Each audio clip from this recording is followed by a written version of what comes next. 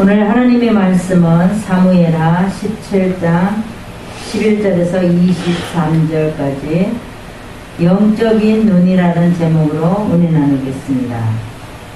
미국의 하버드 대학이 있죠. 하버드 대학은 최고의 대학이라고 말하죠. 근데 찰스 엘리엣이라고 하는 총장이 있었어요. 그 총장은 이제 어, 그 하버드의 하버드 대학교의 어, 총장이었습니다. 근데 어떤 어느 날 노 부부가 찾아왔어요. 총장에게 찾아와서 어, 인사를 했습니다. 근데 총장이 보니까 아니 그래도 나를 찾아오려면 옷도 좀 정장을 하고 좀 멋있게 이렇게 하고 와야 되는데 그렇게 하고 오지를 않은 거예요. 그냥 허스름하게 이렇게 노부부가 찾아왔습니다. 찾아와서 이제 이 하버드 대학교 총장은 에휴 별볼일 없는 사람이구만 그러면서 이 노부부는 뭐라 그러냐면 내가 이 학교에 후원을 좀 하겠습니다 이렇게 한 거예요. 그런데 이 총장이 봤을 때는 아이고 뭐 옷도 저렇게 입고 후원을 하면 뭐 얼마나 하겠어 이렇게 생각을 한 거예요.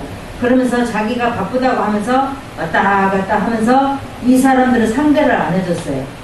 그러니까 우리가 겉모습을 보면 옷도 잘 입고 오고 아주 헬스하고 이러면 우리가 어떻게 합니까?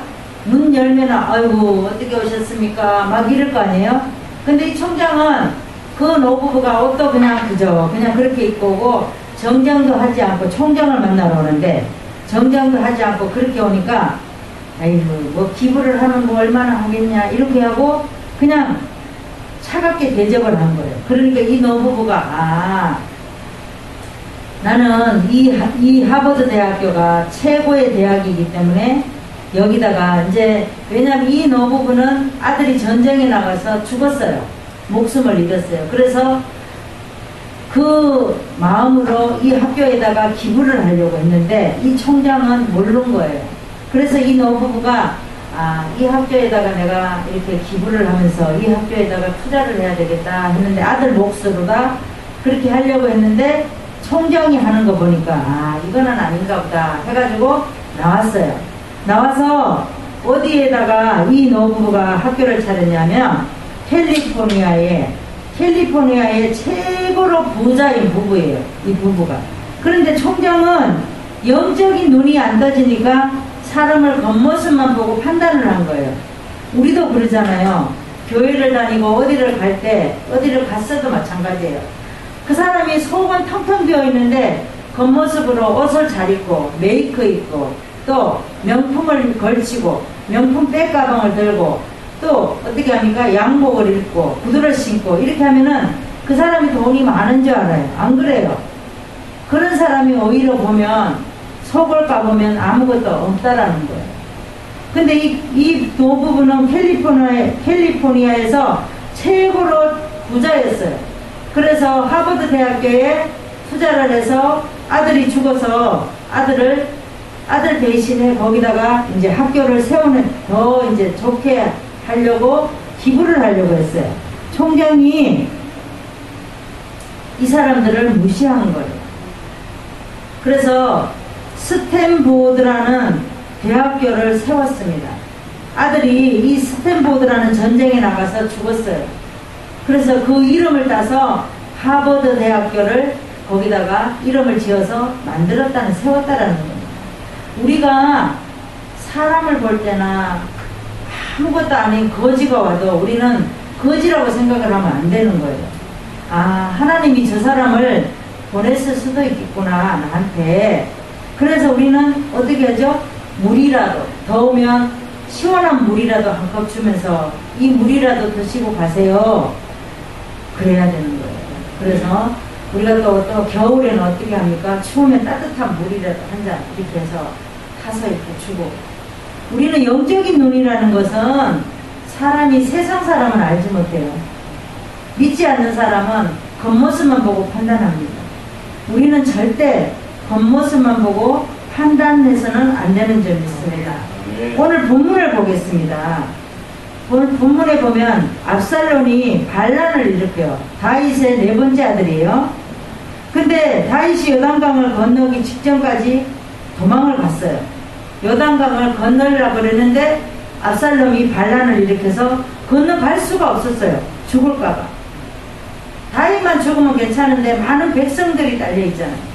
그래서 지도자기 때문에 우리도 마찬가지예요. 내 목숨은 없어져도 우리 어? 나에게 속해 있는 그런 백성들 때문에 내가 앞잡이가 돼야 되는 거예요. 다윗에게 아주 좋은 모사꾼이 있었어요. 후세와 아이도벨이라는 두 사람이 있었어요. 근데 후세는 다윗에게 남고 아이도벨은 압살롬에게 붙었어요. 우리도 그러죠. 우리도 이렇게 어떤 길에 어떤 길에 서 있었어요. 그런데 사람은 그러잖아요. 어떤 우리가 자녀들에게도 그러죠. 어, 엄마가 더 좋아, 아빠가 더 좋아 이런 경우도 있어요. 그리고 어떤 이제 사람이 세 사람이 있어요. 세 사람이 있으면 너는 나를 택할래, 저 사람을 택할래 그럴 때가 있어요. 그럴 때 갈망할 때도 있는데 또 사람은 어떤 간사한 마음이 있어요. 아, 저 사람이 아, 다윗이 저렇게 압살롬에게 쫓겨가니까 다윗은 이제 청년이고 다윗은 이제는 어, 나이도 좀 있고 그러니까 아, 내가 지금 압살롬을 쫓아가면 내가 1등 공신이 되겠지. 이렇게 생각을 한 거예요. 우리가 인간의 생각을 한 거예요. 사람을 보고. 그래서 이 아이도벨은 압살롬을 쫓아가고 후세는 다윗의 편이 됐습니다. 그러니까 후세가 성 안에 일어난 모든 것을 제사장에게 말을 해줘요. 제사장 사독과 아비아달이 있어요. 사독의 아들 참 아비아달.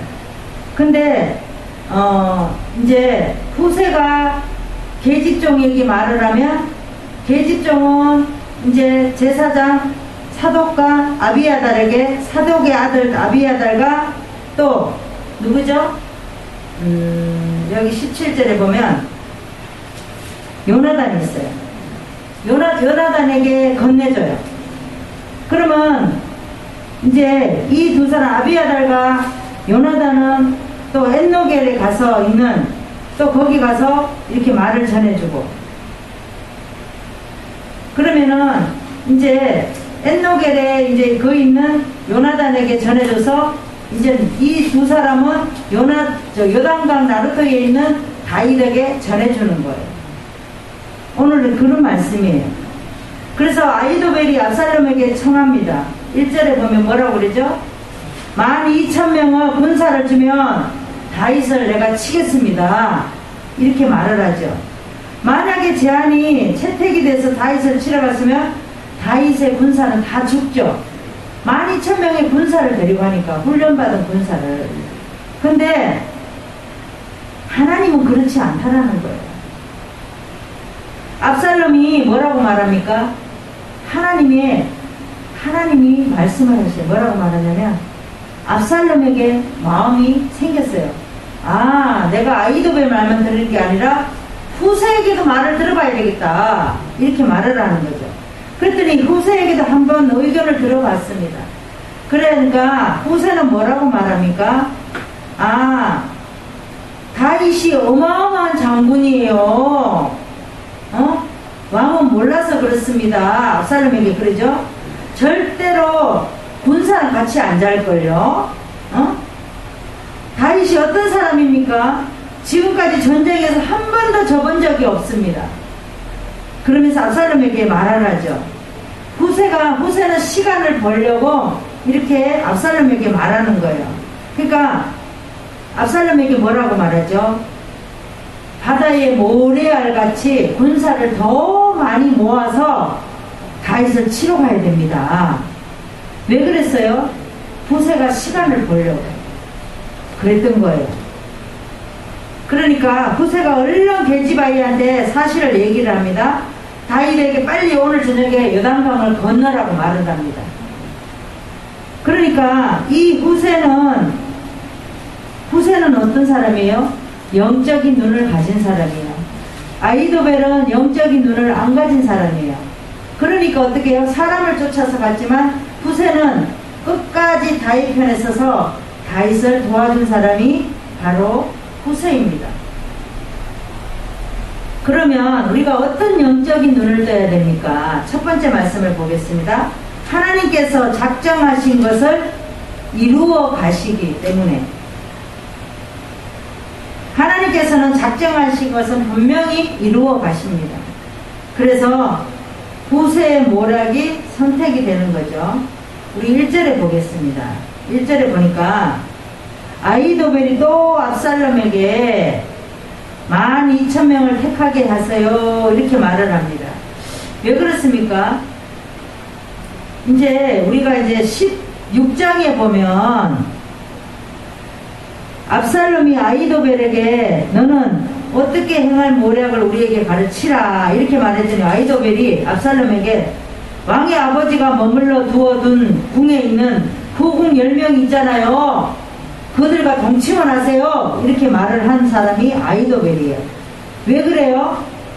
왕의 어, 첩을 건드리면 왕을 이긴 거나 마찬가지예요. 그래서 왕의 첩들을 10명을 후궁을 동침을 했어요.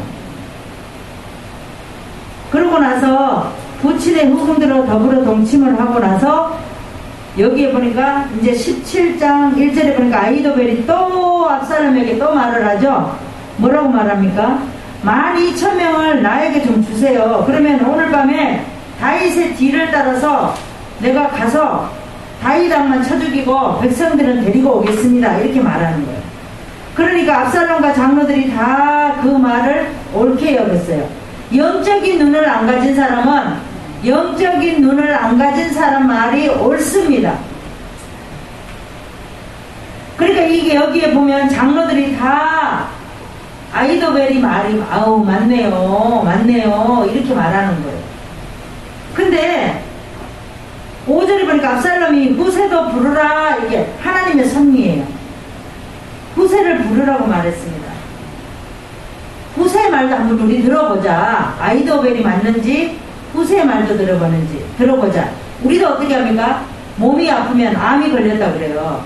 그러면 한 군데 가서 우리는 결정하지 않잖아요. 그죠? 우리 다른 데도 한번 가보자. 이렇게 말을 하죠. 그런데 여기 보니까 6절에 보니까 후세가 압살롬에게 아이도벨은 여차여차 말하니 그렇지 않거든 너는 말하라. 어? 후세가 말을 하죠. 아이도벨의 내품 모락이 선치 못해요. 이제 후세의 모략이 첫 번째입니다. 그 다음에 또 왕의 부친과 그 종자들을 용사라 병법에 익은 사람인지 백성과 함께 자지도 아니하고 어느 곳에 숨어 있는지 아무도 모른다. 그러니 압살롬을 쫓는 자 가운데 폐함을 당하였다 할지라도 그러죠. 11절에 보니까 뭐라 그래요? 나의 모략은 이러하니라. 후세가 이제 자기의 전략을 내놔요. 첫 번째는 뭐라 그러죠? 온 이스라엘을 단부터 부엘세바까지 왕께로 모으세요. 어? 압살롬에게 말을 합니다.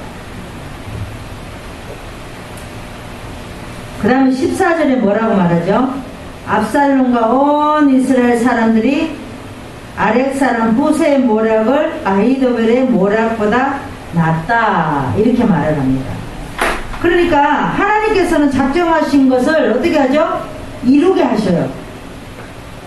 하나님의 작정하신 것은 절대 빗나가는 것이 없습니다.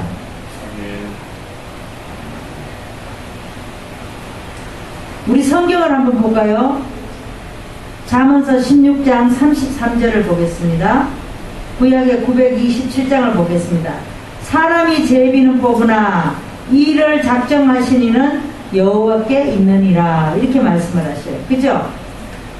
아무리 사람이 제비를 뽑아서 왕을 만들지라도 이를 작정하신 이는 누구라 그랬어요? 하나님이라고 그랬어요. 하나님. 그러니까 하나님이 작정하신 것은 사람이 바꿀 수가 없어요. 우리가 어떤 일이 있으면 사람들이 뭐라 그래요? 계절이 오니까 계절이 바뀌고 절기가 바뀌니까 뭐라 그러죠? 믿지 않는 사람은 아유 참 선자들이 어떻게 이렇게 계절을 잘 만들어 놨는지 이렇게 말하잖아요. 그 절기를 누가 만들어 놨어요? 하나님이 만들어 놨어요. 그러니까 믿지 않는 사람은 그렇게 말하는 거예요. 영적인 눈이 안 가진 사람은 선자들이 만들어 놨다라고 얘기를 합니다. 에스더를 보겠습니다. 성경에 에스더는 이제 하만이 모략을 꾸며요. 어? 이스라엘 백성들을 다 죽여야 되겠다. 몰사해야 되겠다. 그리고 음모를 꾸미니까 모르게되게 모르드게가 뭐라고 말합니까? 그 말을 문지기를 하다가 들었어요. 그래서 에스더에게 너는 왕후가 아니냐? 네가 금식을 해서라도 이스라엘 백성들을 살려야 된다. 이렇게 말을 합니다. 그랬더니 에스더가 뭐라고 말합니까? 처음에는 아우 어떻게 합니까? 어떻게 합니까? 내가 어떻게 해요? 막 이러면서 그랬어요. 그러니까 모르드게가 뭐라고 말합니까? 너를 왕으로 그 자리에 있게 한 거는 하나님이신데 하나님이 이스라엘 백성을 지키라고 그 자리에 있게 한 건데 네가 못하다니 그러면 다른 길을 찾아보겠다라고 얘기합니다. 그래서 이 에스다가 어떻게 합니까? 금식을 합니다. 금식을 하고 한 달 있다가 나중에 왕, 왕 곁에를 한 달 동안 왕 곁에 안 가요. 그리고 3일을 금식하고 나서 한 달을 왕, 왕에게 옆에 가지 않았어요. 그러고 나서 나중에 한 달 있다가 왕 앞에 갔더니 세상에 에스더가 그렇게 예뻐 보이는 거예요. 너무 예뻐 보이는 거예요. 그래가지고 이 왕이 어떻게 합니까? 이렇게 어, 자기가 갖고 있는 금호를 이 에스더에게 딱 내밉니다. 아무나 그 금호를 내미는 거 아니에요. 얼마나 내 몸같이 너를 사랑한다는 뜻이에요. 그래서 금호를 내밀으니까 네가 원하는 게 뭐냐 묻습니다. 근데 이때에 하만은 왕의 오른편이었어요. 오른팔이었어요.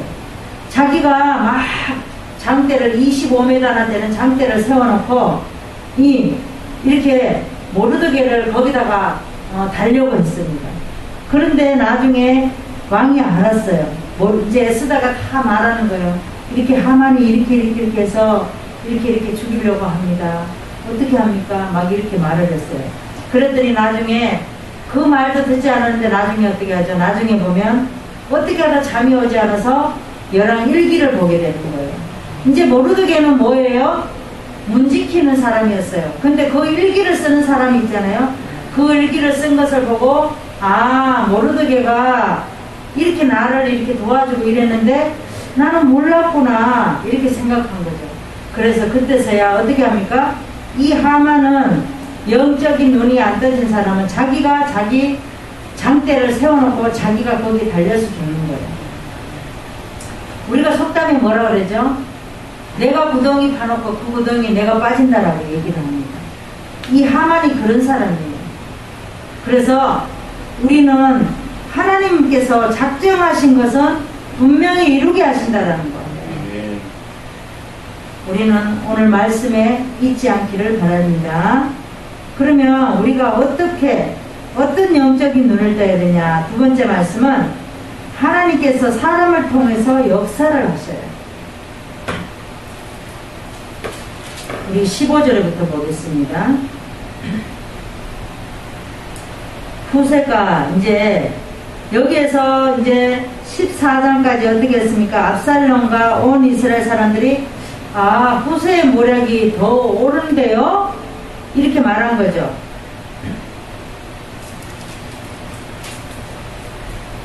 그러고 나서 이제 15절에 보니까 후세가 후세가 사독과 아비아달 두 제사장에게 이제 여기에 보면 이제 16절에 보니까 너희는 빨리 사람을 보내 다윗에게 구해라. 오늘 밤에 강연한 루트를 자지 마시고 아무쪼록 밤을 새설에도 건너가게 해라. 이렇게 전달을 하라고 그랬습니다. 그때에 요나단, 아히마하스가 있었어요. 그러니까 이 요나단은 아비아달의 아들이에요. 그 다음에 아히마하스는 사독의 아들이에요. 그래서 엔노겔로 가서 머물고 어떤 계집종은 저희에게 사독과 아비아들에게 나와서 구하고 저희는 요나단과 아비아달은 가서 다윗에게 구했습니다. 그쵸? 전달이 후세가 어떻게 했어요? 계집종에게 전달해주면 네가 빨리 가서 그 제사장 요나단과 아이마스에게 이렇게 이렇게 전해라. 이제 이 사람들은 미리 계약을 다 이렇게 계약을 해놓은 거예요. 그 다음에 아이마하스와 요나단은 어떻게 하죠? 요단 나루터로 가서 다윗에게 전해줬어요. 18절에 보니까 한 소년이 저희를 보고 이 한 소년은 압살롬의 편에 선 사람이에요. 그러니까 이 한 소년은 요단과 아, 요나단과 아이마하스가 어, 디로 가는 걸 알았어요. 그래갖고 이 한 소년이 압살롬에게 보였어요. 아니 그 두 사람이 저렇게 요나단 저기 요단강 있는 데로 막 글로 막 가던데요? 이렇게 말한 거예요. 그런데 가다가 바울이 어떤 사람의 집으로 들어갔어요. 들어가서 우물속으로 내려갔어요. 우물속으로 내려가니까 그 주인이 어떻게 했어요? 이렇게 우물, 우물이 우리가 옛날에 그, 그 뜨레박, 뜨레박, 있죠? 그 밑으로 들어가니까 그 위에다가 이렇게 돗자리 이렇게 피고 거기다 곡식을 널었어요. 그러니까 지나온 사람들이 압살롬의 어, 이두 사람을 잡으러 온 사람이 안 보이죠. 그러니까 이 주, 주인에게 묻는 거예요. 혹시나 이 두 사람이 일로 지나가는 거 봤느냐 물어요. 그러니까 그 집 주인이 뭐라 그러죠? 아니 저리 어디로 가던데요? 이렇게 말하잖아요. 시내 건너가더라 그러죠? 이게 하나님의 섭리예요. 저희가 찾아도 만나지 못하고 예루살렘으로 돌아갔습니다. 그러니까 어? 아무리 찾아도 찾을 수가 없는 거예요. 우리가 여호수아에 보면 정탐꾼을 숨겨준 어, 나합이 있죠. 네. 그런 경우에요. 그러니까 이런 경우에 이런 분들은 어떤 사람이요? 영적인 눈이 떠진 사람이에요. 영적인 눈이 떠지지 않는 사람은 보이는 것만 가지고 막 쫓아가고 죽으려고 죽이려고 하고 잡으려고 하고 그런다라는 겁니다. 그래서 하나님께서는 사람을 통해서 역사를 하셔요. 어떠한 일이 있어도. 어떤 사람을 만나서 어떠한 일이 일어날지 몰라요. 그러니까 우리가 어떤 사람이 말을 하면 무시하지 말고 그 말을 아 오늘도 하나님이 말씀을 하시는구나 이렇게 들어야 돼요. 말이 딱 귀에 걸리는 말이 있어요. 어떤 사람이 말할 때는 그냥 스쳐가는 말도 있는데 어떤 사람이 말하는 거는 아 하나님이 저 말을 나 들으라고 하는구나 이렇게 딱 받아들이면 빨리 적용을 하면 되는 거예요. 우리 성경을 보실까요? 자문서 16장 9절을 보겠습니다. 구약의 926장을 보겠습니다. 사람이 마음으로 자기의 길을 계획할지라도 그 걸음을 인도하는 자는 누구라 그랬어요? 여호와시리라 그랬어요. 사람이 마음으로 자기 길을 아무리 계획을 해도 그 걸음을 인도하는 자는 하나님이에요. 사람이 많은 것을 계획을 해도 거기 맞지 않으면 하나님은 어떻게 하죠? 그 사람을 잡아들여요. 다른 길로 가게 하셔요. 그런 거예요. 그래서 영적인 눈을 가진 사람은 사람의 마음으로 하지 않죠. 하나님한테 묻고 하는 거예요. 무비보셋을 보겠습니다. 무비보셋은 우리가 사무에라 9장 13절에 보면 1절에서 13절까지 보면 무비보셋이 나와요. 무비보셋은 다윗과 네가 먼저다 내가 나중이다 하는 사람의 사울의 아들 요나단의 아들이에요. 무비보셋은 그런데 다윗이 왕이 되고 난 후에 전부 다 이제 정리가 되었어요. 그러고 나서 보니까 요나단이 생각이 나는 거예요. 같이 가 자기와 함께 전쟁하고 동무였던 친구가 생각이 나는 거예요. 그래서 요나단하고 다윗은 뭐예요? 네가 먼저 왕이 되라. 나는 나중에 되겠다. 이렇게 서로 이렇게 그런 아주 친한 그런 친구였어요. 그런데 이제 요나단 때문에 항상 마음이 걸려 있는데 나중에 이제 나라가 안정이 되고 그래서 사람들에게 물었습니다. 혹시 사울의 왕가에 누가 어떤 가족이 있는 사람이 없느냐 이렇게 물었어요. 그랬더니 이제 왜냐면은 전쟁을 할 때 이제 사울이 막 계속 이제 다윗과 전쟁하고 죽이려고 하고 이랬을 때 도망가다가 이제 무비버섯을 떨어뜨렸어요. 무비버섯을 떨뜨 이제 무비버섯을 떨어뜨려 가지고 다리가 쩔뚝발이가 된 거예요. 쩔뚝발이가 됐는데 이제 뭐라 그랬냐면 다윗에게 말을 합니다. 아 하나가 있기는 있는데요. 쩔뚝발이에요. 마길의 집에 있어요. 이러는 거예요. 그러면은 빨리 당장 데려와라. 데려와라. 막 이런 거예요. 그래서 막 이제 무비버섯을 데려왔더니 쩔뚝발인 거예요. 그런데 다윗왕은 어떻게 했습니까?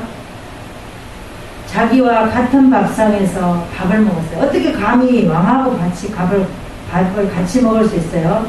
그런데 다이당은 이 무비벗에서 다리가 쩔뚝거린다는 것은 영적으로 왕이 못 된다라는 거예요. 왕이 되려면 어떤 흠집이 없어야 되잖아. 그쵸? 그러니까 이 무비옷에서 다리가 쩔뚝쩔뚝거리는 거예요. 그러니까 왕이 될 수 없으니까 아무 상관이 없는 거예요. 그래서 무비봇을 데려와가지고 같이 다윗과 같은 밥상에서 밥을 먹게 됩니다. 우리는 이 다윗은 영적인 눈을 가진 사람이에요. 그죠?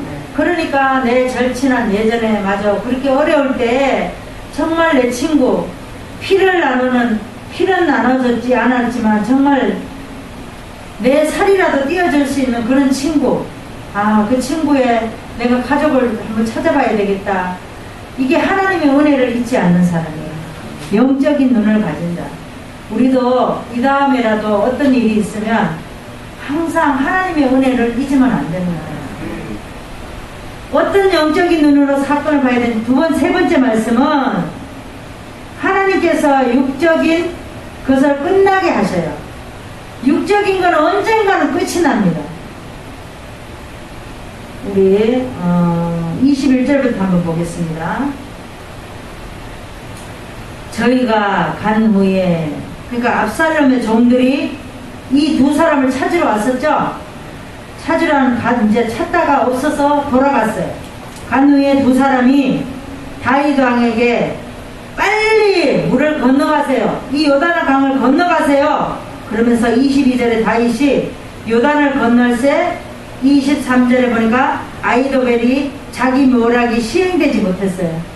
그러니까 얼마나 자, 속상했겠어요. 아이도벨이 아니 다윗을 다윗과 늘 함께 모사를 한 사람이었는데 다윗을 버리고 압살롬에게 붙었는데 어 자기의 모략 자기가 한 계획은 다 물거품처럼 없어지고 후세가 어? 모략한 것이 거기 됐으니 이 아이도벨은 너무나도 속상한 거예요. 그래서 아 나는 이제 쓸모가 없구나. 후세가 채택이 되고 나는 이제 후세 이제 아무 쓸모가 없구나 해서 자기가 어떻게 죠 자기 집에 이르러서 스스로 목을 메고 죽습니다. 이게 영적인 눈을 안 가진 자는 이런 사람이에요. 결론은 어떻게 해요? 하나님께서 육적인 것은 끝나게 하셔요. 그쵸? 24절 보니까 다윗은 마하나임에 이르고 압살롬은 모든 이스라엘 사람과 함께 요단을 건너니 압살롬이 아마사로 군장을 삼았습니다. 그러니까 압살롬이 길르앗 땅에 진을 치고 다윗이 마하나임에 이르렀을 때에 소비, 마길, 바르실레 이 세 사람은 다윗을 돕는 자예요. 그래서 요단강을 건널 때 같이 건너가자 막 이랬어요.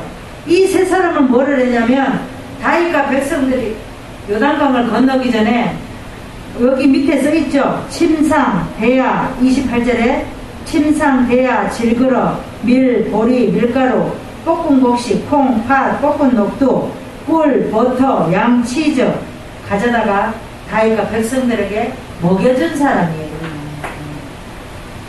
이분들은 영적인 눈을 가진 사람이죠. 그런데 이 사람들은 소비와 마길과 바르실레는 바르실레는 여단강을 건너가고 소비와 마길은 여단강을 건너가지 않습니다. 여기까지만 제가 하겠습니다. 어떻게 하죠? 오른손이 하는 거 왼손이 모르게 한 사람이 이 세 사람이에요. 그래서 바르실레는 건너가서 같이 가자 이렇게 끝까지 같이 가자 그랬을 때 바르실레는 뭐라고 하냐면 아 바르실레도 건너가지 않았어요. 그래서 바르실레는 뭐라고 말하냐면 내 아들 기맘이 있는데 기맘을 좀 데려가 주세요. 이렇게 말하는 거예요. 나보다 누구요? 내 아들. 우리는 지도자로서 어떤 일이 있으면 내가 총알바지가 돼야 되는 거예요. 비급하게 뒤로 숨고 무서워서 쩔쩔매고 이런 사람이 되면 안 되는 거예요. 성경을 보시겠습니다.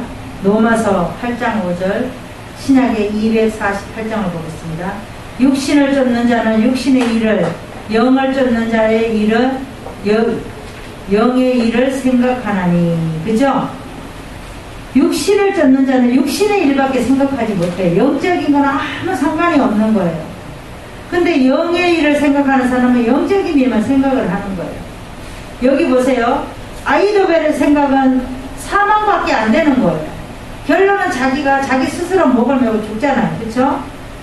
영의 생각에 생명은 편안한 거예요. 우리가 영적인 것을 생각하고 영적인 일을 하면은 너무나도 편안한 거예요. 후세는 뭐예요? 생각은 생명과 평안이었어요. 다윗을 살려주게 되는 거잖아요. 육신의 생각을 하는 것이 아니라 아 왕의 일을 내가 도와야지 이렇게 생각을 한 거죠. 그러니까 압살롬은 자체가 자기 자체가 하나님에게 인정받지 못하는 사람이에요. 압살롬은 자랑거리가 뭐예요? 머리카락. 머리카락이에요.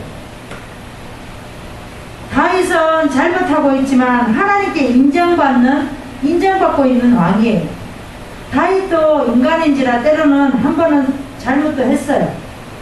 그렇지만 인간이기 때문에 하나님은 회개하고 용서를 구하니까 왕으로 세워주셨습니다.